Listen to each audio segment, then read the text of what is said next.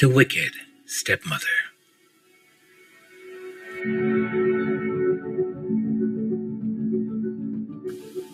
The wicked stepmother is a pervasive archetype in folklore, literature, and media.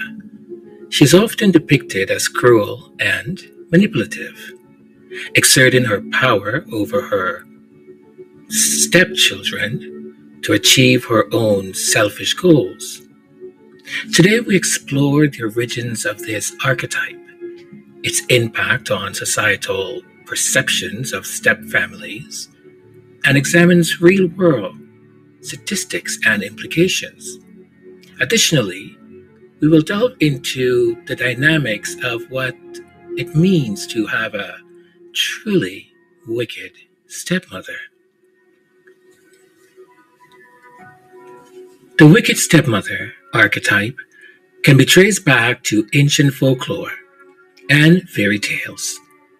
In many stories, such as Cinderella, Snow White, and Hansel and Gretel, the stepmother embodies pure evil, contrasting sharply with the biological mother, who is often depicted as loving and nurturing.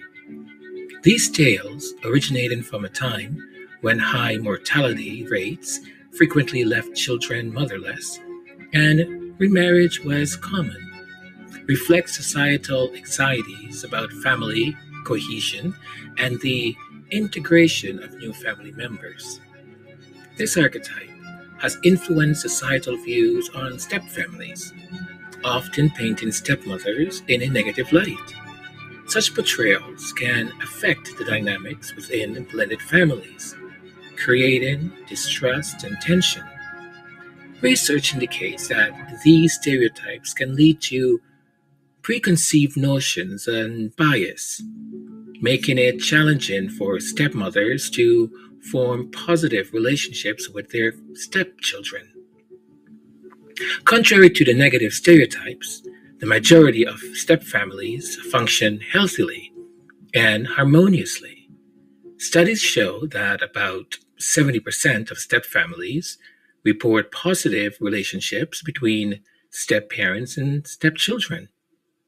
However, challenges do exist, as blended families involve navigating complex emotional landscapes and pre existing family dynamics. The success of these relationships often depend on factors such as communication, mutual respect, and time. If the archetype of the wicked stepmother were accurate, the family dynamic would be fraught with manipulation, emotional abuse, and power struggle. The stepmother's actions would likely create an environment of fear and resentment, leading to long term psychological impact on the children, such as trust issues, low self esteem, and difficulties in forming healthy relationships. She could even and would even put siblings against each other. I submit a fictional tale of a fictional kingdom called Bretonnia. That may seem familiar, but this is fictional. It's inspired, however, by Spare, the memoir by Prince Harry, where he discussed his complex relationship with Camilla, the Queen Consort. He describes feeling betrayed as he believed Camilla used him to improve her public image.